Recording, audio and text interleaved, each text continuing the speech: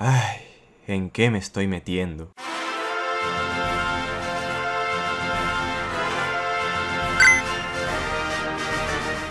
Muy buenas gente, les habla Nibi y estamos aquí hoy con un nuevo video.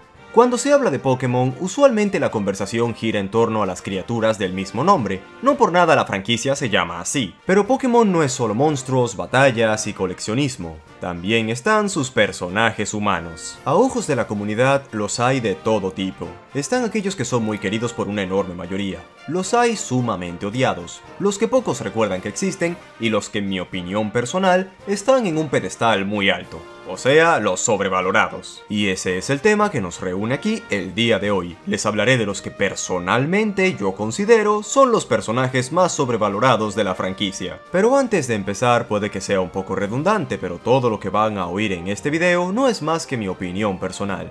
Pueden no estar de acuerdo conmigo y no hay ningún problema. Hasta los invito luego de terminar de ver el video a que ustedes mismos digan cuáles son los personajes que consideran sobrevalorados. Lo bueno es que la comunidad de Pokémon es muy comprensiva y no pasará nada por meterme con personajes muy queridos, ¿verdad? ¿Verdad? Bueno, sin más dilación, comencemos.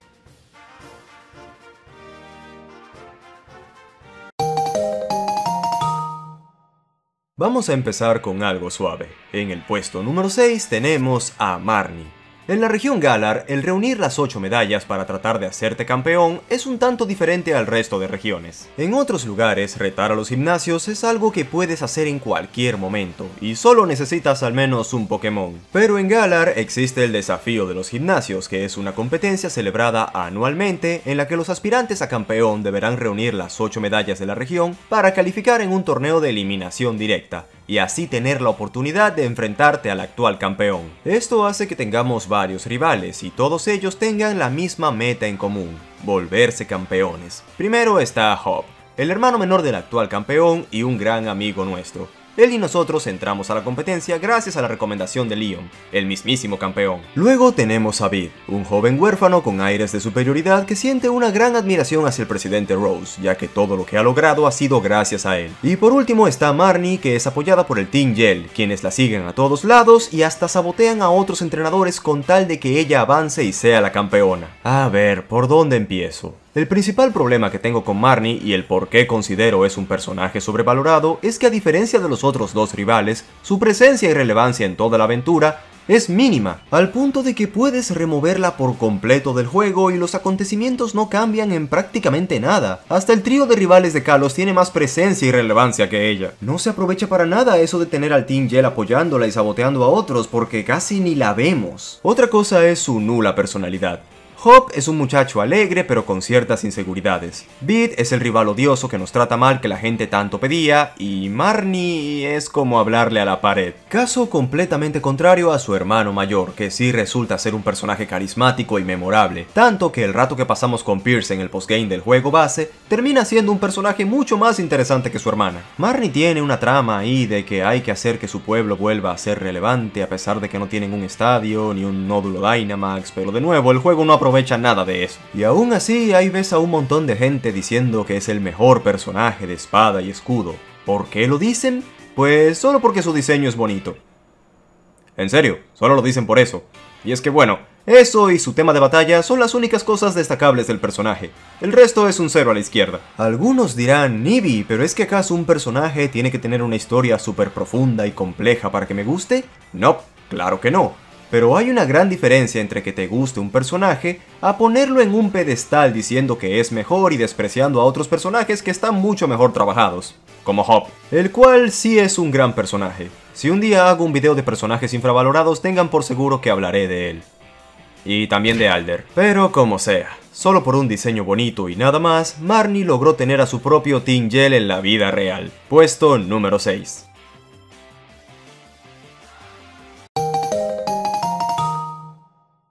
En el puesto número 5 se encuentra Cynthia, tanto la del anime como la de los juegos. Pero antes de que me linchen, les diré que originalmente ella no iba a estar en este video. Esto iba a ser un top 5, pero la metí por algo que pasó hace muy poco. Recientemente en el anime Pokémon Viajes se estrenó en Japón el episodio en el que Ash se enfrenta a Volkner. Y spoiler, Ash gana, sube de clasificación en el ranking y al final nos enteramos de que Cynthia también está en la competencia y se encuentra en la clase maestra, donde están los entrenadores más fuertes. ¿Qué pasa con esto? que me encontré con un montón de comentarios en varios lugares diciendo que Leon y Raihan solo están ahí por el poder del guion, que Cynthia es la que debería tener el puesto número uno, porque ella está muy por encima de ellos dos, solo porque en los videojuegos ella es la campeona más difícil de vencer. A ver gente, en los videojuegos hay que saber separar lo que es el canon del gameplay, y les puedo dar varios ejemplos. En Pokémon Platino se establece que Volkner era un líder de gimnasio tan fuerte que perdió la motivación de pelear por no encontrar retadores que estén a su altura, pero eso no significa que en cuanto a gameplay sea el líder más difícil de vencer. Es un líder de tipo eléctrico, un tipo con una debilidad muy explotable como lo es el tipo tierra. Usando un Pokémon con terremoto lo podemos vencer muy fácilmente, caso contrario al de Rogue, que es el primer líder de Sino, pero su combate suele resultar ser mucho más complicado por el altísimo ataque que tiene su Cránidos para ese momento del juego. Si hablamos de jugabilidad, es más difícil ganarle a Rogue. Pero si hablamos de canon, Volkner es más fuerte. Otro ejemplo, en el competitivo de la sexta generación, Talonflame era uno de los mejores Pokémon por su habilidad única Alas Vendaval, que le daba prioridad a sus movimientos de tipo volador. Caso contrario al de Moltres, que a pesar de tener la misma combinación de tipos y ser legendario, era muy malo. Eso es en cuanto a gameplay, porque en el canon un Moltres es mucho más poderoso que un simple Talonflame. Y eso nos lleva a Cynthia, que en el gameplay sí está pesada, eso no lo voy a negar tiene un equipo muy bien construido, pero si nos vamos al canon podríamos decir que ella está al mismo nivel que Dianta. La diferencia es que Dianta resulta muy fácil de derrotar porque su equipo no es muy bueno en cuanto a combinaciones de tipo y sinergias, y que XY en general son juegos más fáciles de lo normal en esta franquicia, pero canónicamente es una entrenadora muy fuerte. No por nada es campeona. En el anime ya se ha dejado claro lo fuerte que es Leon, y este mismo lo ha demostrado. No es fuerte solo porque el guion quiere que sea fuerte y ya. De hecho, si nos vamos de nuevo a los juegos, hasta Raihan está por encima de Cynthia, aunque sea solo un líder de gimnasio, porque ahí se estableció que este no puede derrotar a Leon y volverse campeón de Galar, pero si lo quisiera, podría sin muchos problemas ser campeón de cualquier otra región. Con esto no digo que la Cynthia del anime sea una entrenadora débil ni nada por el estilo. En la temporada Diamante y Perla, ella demostró en más de una ocasión lo fuerte que es, pero aprendan a separar la jugabilidad de la historia y de paso a separar también los personajes del anime de los juegos. Antes de acabar con este puesto, y claro, luego de terminar de ver este video, les recomiendo mucho un video del canal Convergencia Digital, en el que se explica con muy buenos argumentos cuáles vendrían siendo los 10 entrenadores más fuertes de los juegos. Les dejaré el link abajo en la descripción. Puesto número 5.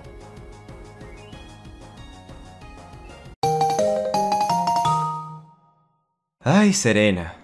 Ya todos deben saber las razones por las que este personaje se encuentra aquí. Aquella compañera de Ash que muchos ponían en un pedestal solo porque estaba enamorada del protagonista, y así se ganó a un montón de gente, a pesar de que tardó cerca de 40 episodios para empezar a ser relevante. Y para hacerlo recurrieron al típico cliché de me pongo a llorar y me corto el pelo porque eso automáticamente me da desarrollo de personaje. Y todo eso fue producto de ponerse triste por perder en su primer intento en algo que solo estaba probando a ver qué tal. Y que al final terminó dejando para irse a hacer concursos en Hoenn, no sin antes hacer que su único propósito, además de babear por el protagonista, sea decir a qué ciudad o pueblo toca ir ahora. Y ojalá fuera solo eso, porque si de verdad le querían dar el enfoque de estoy enamorada del protagonista, al menos hubiesen tomado la molestia de desarrollar un poco eso, porque Ash nunca se mostró interesado en ella, y aún así dicen que su relación es canon solo porque antes de que se despidieran, ella le robó un beso a Ash, y este se quedó como, ah ok, te me cuidas. Y posterior a eso tuvimos el famoso Serena en Alola. Gente haciendo campañas en change.org y spameando las redes sociales de los encargados del anime para que ésta acompañara a Ash en la siguiente temporada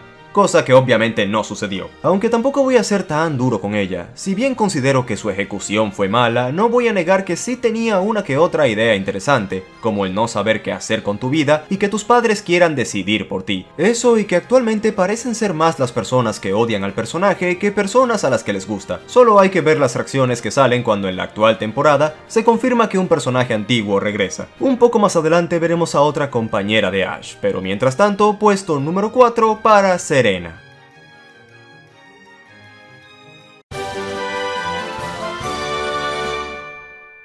no nos vamos muy lejos porque ahora toca hablar de Ash, más específicamente el Ash que vimos en Kalos. Aquí no profundizaremos tanto, la gente que ya me conoce sabe que considero a esta versión de Ash como la peor de todas, incluso peor al visto en blanco y negro. Ese al menos tenía personalidad. Le he dado apodos como Kirito con gorra porque para mí, y sé que para muchas otras personas también, eso es. Un Gary Stu carente de personalidad, el mundo gira en torno a él y todos no paran de dejar en claro lo genial que es, cuando solo es un estereotipo de protagonista que encuentras en un shonen genérico y de los malos. Dicen que es la mejor versión de Ash porque aquí sí pelea en serio, es el líder del grupo, trae a Serena y a la de pelo azul cuyo nombre ya ni recuerdo, vueltas locas y el greninja de la profecía, etcétera, etcétera, etcétera. También muchos dicen que es la verdadera continuación del Ash que vimos en Sino. Y oye, si eso fuera cierto, estoy seguro de que no habría hecho tanto drama solo por perder en un gimnasio porque desarrollo de personaje. Y luego ves a varios diciendo que en Sol y Luna lo resetearon y volvió a ser un principiante. Mira, no sé tú, pero en Sol y Luna Ash sí sabía lo que hacía, pero como el enfoque de la temporada es la comedia, para ellos eso no cuenta. Al menos en la comunidad de habla hispana, muchos con el tiempo se han ido dando cuenta de lo terrible que era el Ash de Kalos, y por eso no se encuentra en un puesto más alto. No hablaré aquí de su relación con Aline y de la Liga Kalos, porque eso me lo estoy guardando para otro video. Puesto número 3 y medalla de bronce para el Ash de Kalos.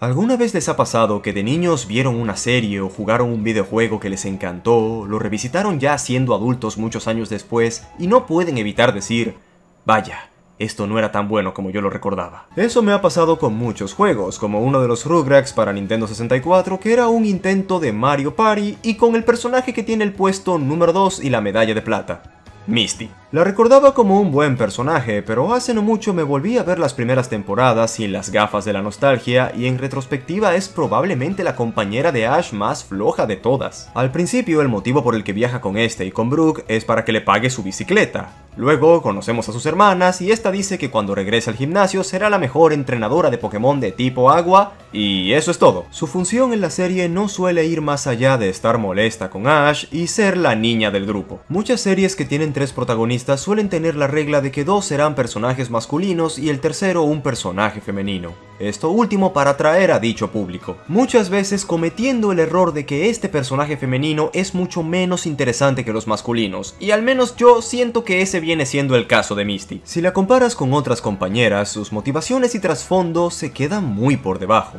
Aunque claro, hay que tener en cuenta que esta era la primera temporada de una serie que aún estaba definiéndose. Pero como fue la primera compañera de Ash, ya es la mejor para muchos que no pueden ver más allá de la nostalgia. Es más, la temporada blanco y negro tiene muchas similitudes con la serie original y no son coincidencia se nota muchísimo que la iris de esta serie fue hecha a partir de Misty. Ambas se quieren especializar en un tipo de Pokémon, fastidian a Ash constantemente o le hacen notar sus fallos, le tienen miedo a un tipo de Pokémon en específico, etc. La diferencia es que Iris sí es un personaje con un trasfondo mucho más interesante, pero como no es Misty ya la suelen tachar de la peor compañera de Ash a pesar de que ambas salen del mismo molde. Puesto número 2 y medalla de plata para Misty.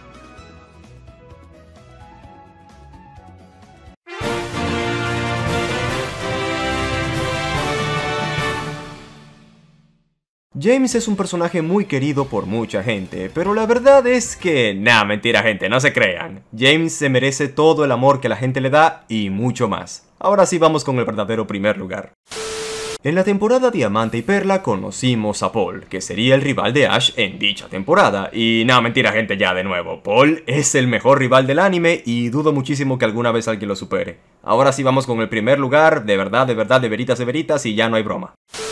En el puesto número 1 y con la medalla de oro tenemos al que considero es el personaje más sobrevalorado de toda la franquicia y ese es Red el de los videojuegos. La razón por la que está aquí ya la hablé a profundidad en un video sobre mitos que muchos creen que son verdad, y es que por ahí hay una buena cantidad de gente que tiene a Red en un pedestal que está encima de otro pedestal, ya que por ser el primer protagonista lo idealizan como el entrenador más fuerte de todos los tiempos, aquel que nadie ha sido capaz de vencer. Y para creerse esta fantasía, estas personas se han inventado y autosugestionado hasta en serio creer que los postgame de los videojuegos no son canon, ya que si lo fueran, significa que otros protagonistas han sido capaces de vencer a Red. No importa que en la historia principal de otras entregas se haga mención a acontecimientos que ocurrieron en los postgame de otros juegos, como sería por ejemplo el arresto a los sabios del equipo Plasma en la historia de Blanco y Negro 2. Arrestos que ocurrieron durante el postgame del primer Blanco y Negro. No, no, no, no, no, todo lo que implique que mi amado Red haya perdido al menos un combate nunca pasó porque no soy capaz de concebir dicha idea. Por esa razón considero a Red el personaje más sobrevalorado de todo Pokémon.